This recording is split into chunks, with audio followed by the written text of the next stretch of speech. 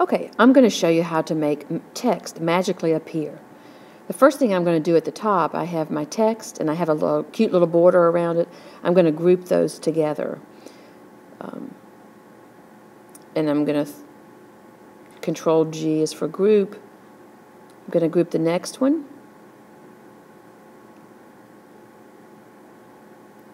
And the next one.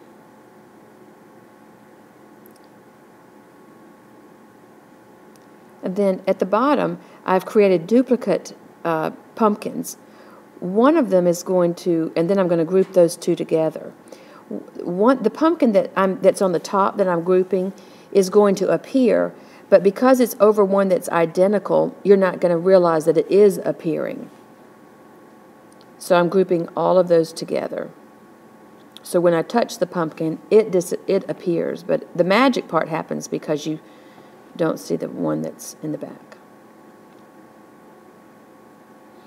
All right, once those have all been grouped, I'm going to make sure that they're kind of lined up together like that. And then I'm going to give it a property. I select all three, and then I go over to the side, and under my um, object animation, I'm going to choose fade in and then I want to fade in when the object is clicked or touched, and I want it to be fast. Slow is fine, but I like fast. I like everything fast. So I'm going to check my page and make sure it works. So I go back, I touch it, and it appears.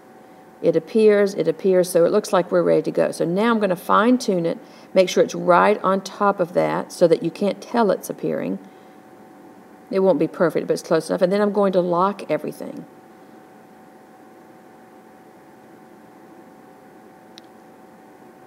Now I'm going to check it one more time.